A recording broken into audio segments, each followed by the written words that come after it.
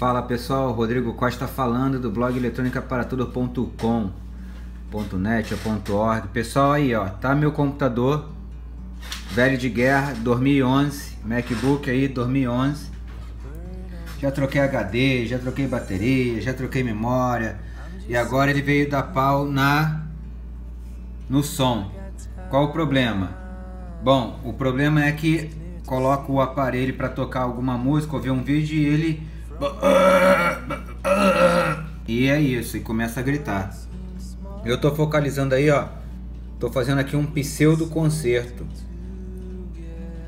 Observem.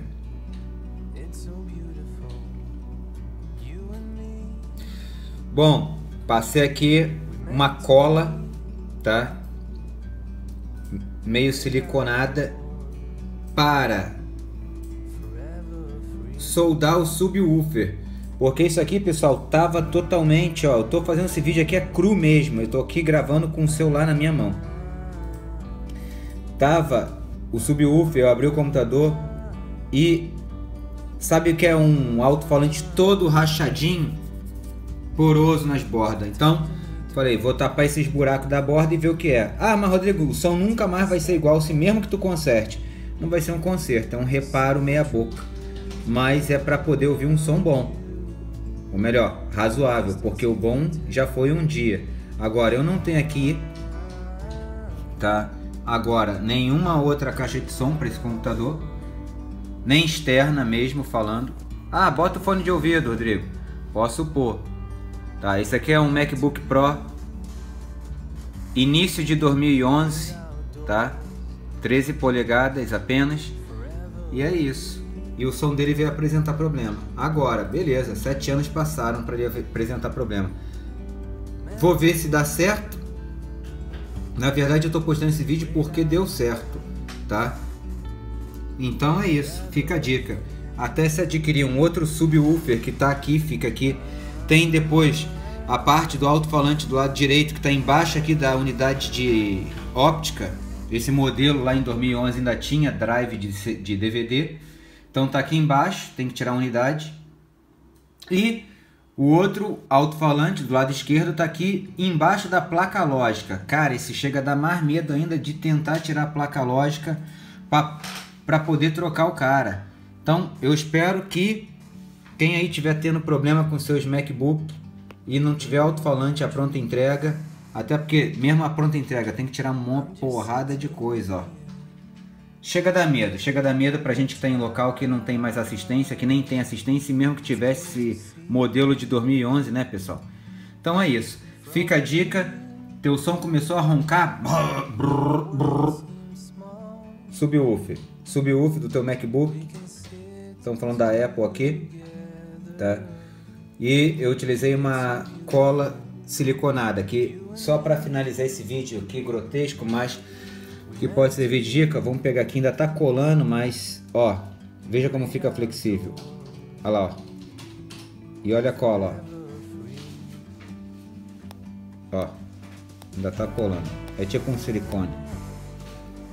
Mas é para tapar os buracos ao redor da película. Isso é como um alto-falante comum, quando rasga. E vamos tentar vedar.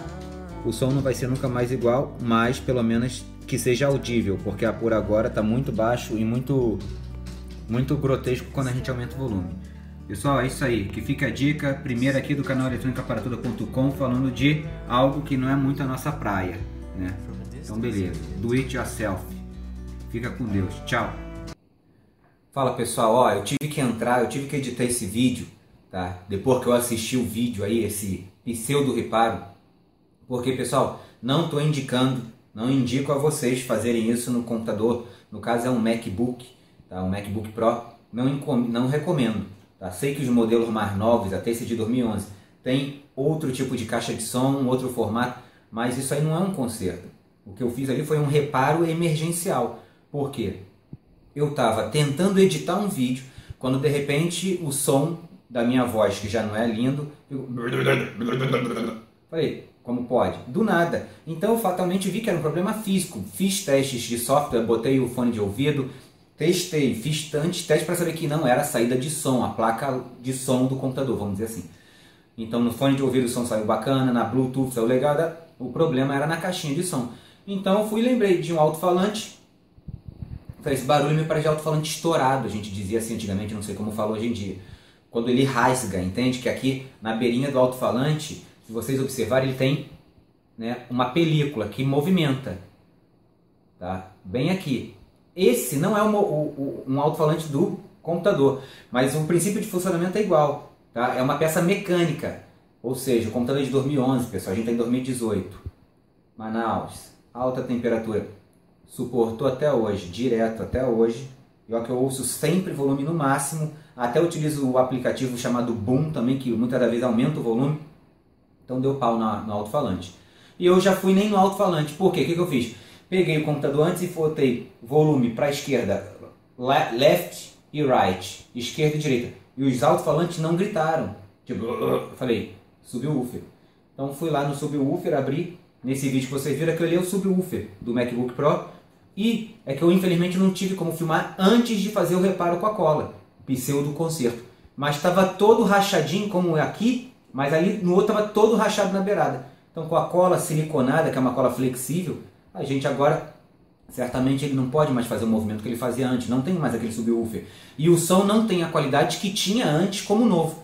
Agora, é escutável, porque do jeito que ficou, pessoal, não dava para ouvir. Eu tive que tirar. E eu não gosto de ficar com fone de ouvido no ouvido, porque me dói e tal. Então, eu fiz esse reparo, esse pseudo reparo, com uma cola flexível, uma cola siliconada, tá?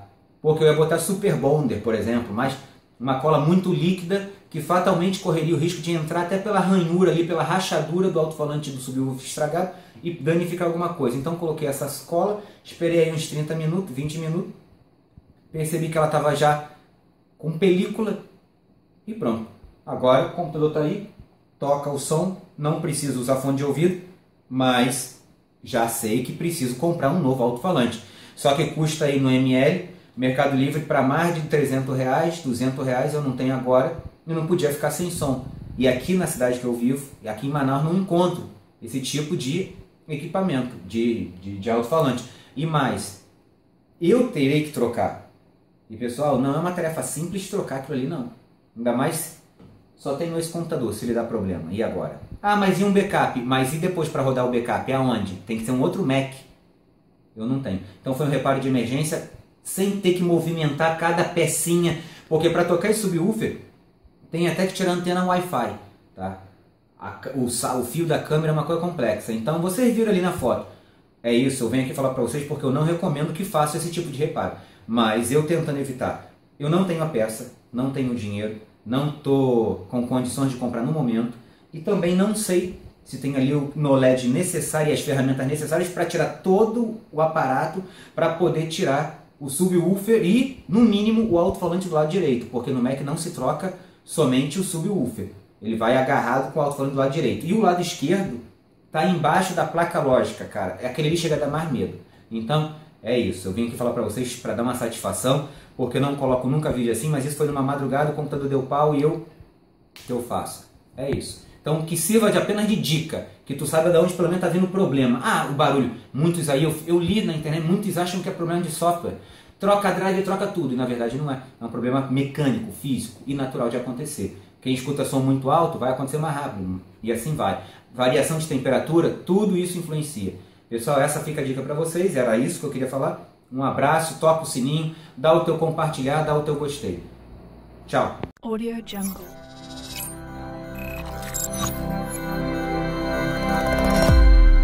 Audio Jungle.